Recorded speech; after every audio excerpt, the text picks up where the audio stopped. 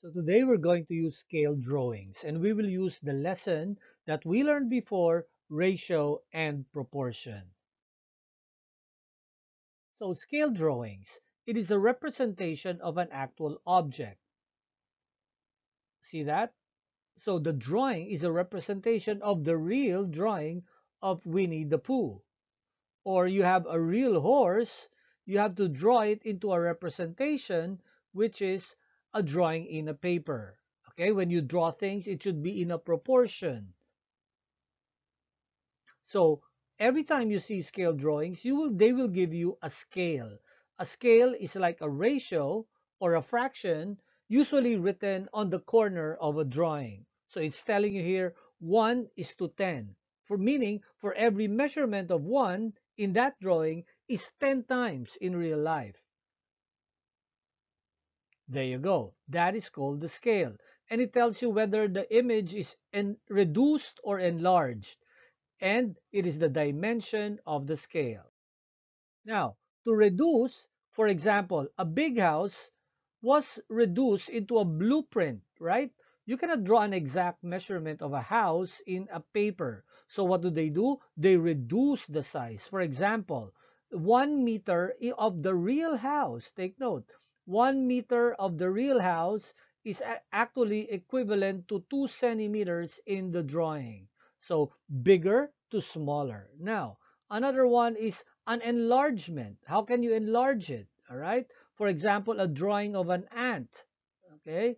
An ant here has a measurement in millimeters and it is now converted into bigger. All right. For every one millimeter here, it has an equivalent measurement given in this scale. Now, let's do some problems. Ray went to visit the Great Pyramids. He learned that the base length of each triangular face is 750 feet. So the base below here is 750 feet. You see that, right? There. Now, he wants to make a scale drawing of the pyramids using the scale. This is the scale he's going to use. 1 inch is to 150 feet. What will be the base length of his drawing? So let's start. The base length is 750 feet. That's the face. The triangle's the face. The base is the bottom. So the base length is 750 feet. So make your proportion. Remember this? A proportion with the correct units. So let's start with the given scale. And the given scale is 1 inch is to 150 feet. Follow the units, guys. Follow the units. If we started with inches to feet, therefore on the other side, it should also be inches to feet. But we already have 750 feet. See that? Feet to feet, inches to inches. Now, our problem is how do I convert um, I mean, the, the problem is what is the missing measurement in inches, right? So again, what did we learn before? You, I can either look for a pattern and do cross multiply and divide. Obviously, the pattern here is times what? Times 5. Therefore, on top, it's also times 5. Therefore, 1 times 5 is 5. So in the drawing, it has to be 5 inches. The 5 inches represents the 750 feet in real life. The base length of Ray's scale drawing will be 5 inches. Second problem. Loretta made a scale drawing of an elephant. What is the actual length of the elephant? Remember, this is just a drawing, but the real picture of an elephant, the size of an elephant, we don't know. So let's start again with our proportion. We already know, always start with the given scale. Okay, the given scale is 1 4 inches is equal to 2 feet. And Look at the drawing. The drawing shows me 1.5 inches. So I write 1.5 inches over there. Take note, it should follow the units. Inches to inches and feet to feet. The bottom will be feet. Okay, now, what pattern do you see? How many 1 fourths will make 1.5?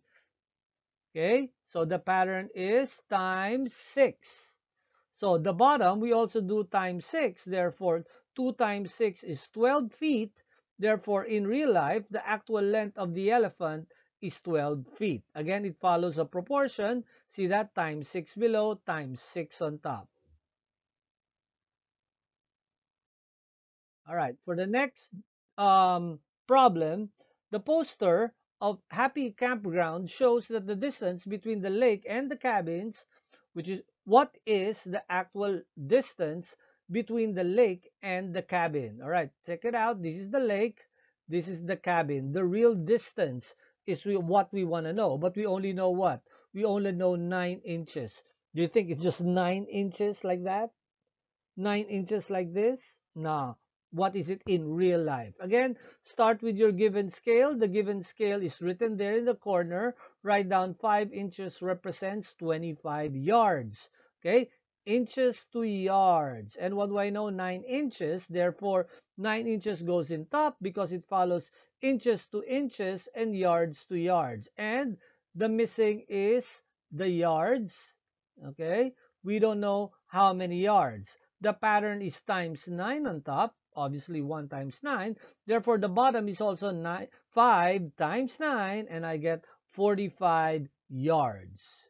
So what can I say? The actual distance between the lake and the cabin is 45 yards. Again, this is the use of proportion in order to solve a scale problem. Now, Drake made a scale drawing below of the lounge and the recreation center the lounge. Okay, now check this out. Use a ruler because they didn't give any dimension. Imagine we had a ruler and we actually measured it. Check out the distance, 1 inches, 2 inches, 3 inches. What do you think? All right, so let's write it down 4 inches, correct.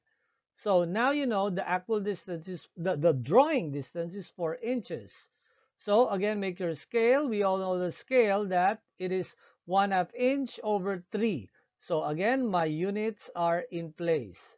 So where do I put the 4 inches? The 4 inches goes on top or at the bottom? It goes on top. Okay, so the feet is missing.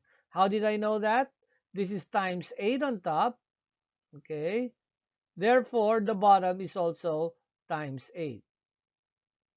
Okay, so the actual distance is 24 feet. Next, um, we we know the 24 feet, but we didn't know the the um, that's the length. Now we want to know the width. And what do you read here? We have 2.5 inches. Inches. Okay. Again, write your ratio. Again, we started the given scale 1 half over 3. We already know that. And then put in the 2.5 inches over x. Again, what's the pattern here? How many halves? You'll get 2.5, so times 5. Therefore, 3 times 5 is now 15. All right? Okay. So we know the length a while ago. Now the width is 15 inches. Now, you know the length and the width. Do you think we can solve for the area now?